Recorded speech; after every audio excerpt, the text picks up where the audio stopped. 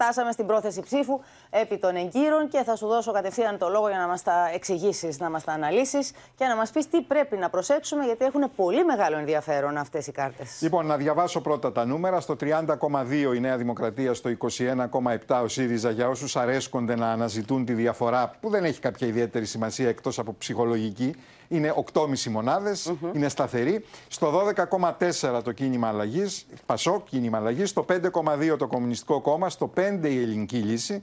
Και να διαβάσουμε και τα ποσοστά των κομμάτων στην επόμενη κάρτα. Στο 3 το Μέρα 25, 1,7 οι Έλληνες για την πατρίδα, 1,1 η Εθνική Δημιουργία είναι η πρώτη φορά που, μπαίνει στη, που ξεπερνά τη μονάδα. 5,6.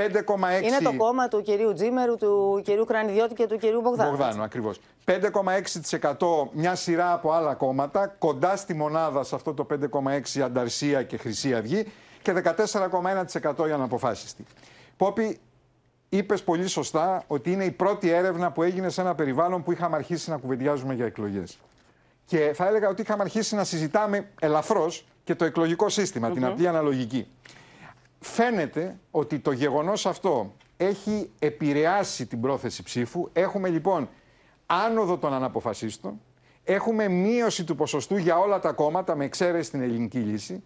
Και αυτό προφανώς συνδέεται με την έναρξη στο μυαλό ενός μεγάλου αριθμού πολιτών, ενός εκλογικού κύκλου που δεν ξέρουμε πότε θα κλείσει, ξέρουμε όμως ότι έχει ξεκινήσει. Από το πώς θα λειτουργήσει η απλή αναλογική στα στο μυαλό των πολιτών. Από το πώς θα επηρεάσει την ψήφο μας. Σε ποια κατεύθυνση θα την επηρεάσει. Θα δημιουργήσει, ας πούμε, μια κατεύθυνση αυξημένης ψήφου διαμαρτυρίας, επειδή θα ξαναψηφίσουμε λίγο μετά. Θα λειτουργήσει στη λογική μιας ισχυρής κυβέρνησης, ανάγκης για μια ισχυρή κυβέρνηση. Από το πώς λοιπόν θα λειτουργήσει και σε ποια έκταση θα λειτουργήσει, θα κρυθούν πολλά σε αυτές τις περίφημες εκλογές, όποτε και αν γίνουν. Και γι' αυτό συμπιέστηκαν όλες οι μπάρες που βλέπουμε τα ποσοστά και ανέβηκε η μπάρα των αναποφάσιστων που ακόμη το σκέφτονται πώς θα λειτουργήσουν. Θα έχει πολύ μεγάλο ενδιαφέρον. Κώστα, θα σε ευχαριστήσουμε πάρα πολύ.